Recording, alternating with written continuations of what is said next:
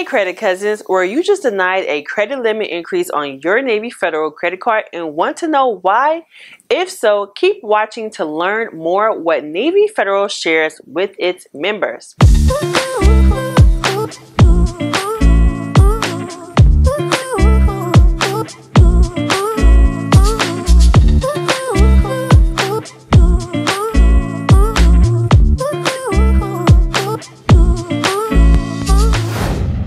But first, let me introduce myself. I'm designer Soapbox and we talk about how to build credit, get high limit credit cards, how to make money online, and so much more.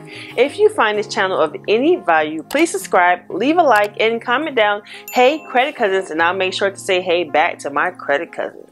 So if you apply for a credit limit increase with Navy Federal but was denied, you may want to know what was the reason. What was the reason? The I reason? reason. What was the I reason? just explained. I just explained the reason. What was the reason? Navy Federal shares the most common reasons for denial listed on their website. When you receive your denial letter from Navy Federal informing you of your denial, here are some common most reasons of why you may have been denied. If your denial letter says your Navy Federal account is too new, Navy Federal says that they like to see at least three months of on-time payments on an existing Navy Federal credit card account before approving an increase to its credit line.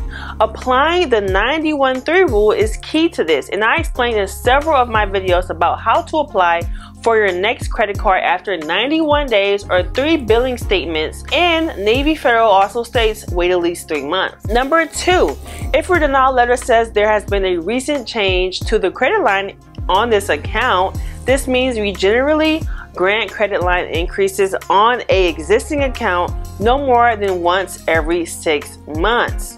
Number three, if your denial letter says delinquent past or past credit obligations with others, this means your credit report shows you paid one or more creditors late. Number four, if your denial letter says income insufficient for amount of credit requested, this means based on information provided in your application, your credit current line is appropriate given your stated income.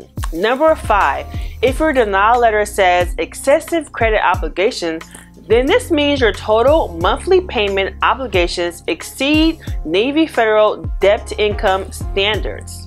So, credit cousins, I hope this gives you a better insight on credit limit increases denials. Make sure to leave a like on this video and that will tell me that you are picking up what I'm putting down and let me know in the comment section if you have any more questions or if you have any other tips so other credit cousins can learn more about it.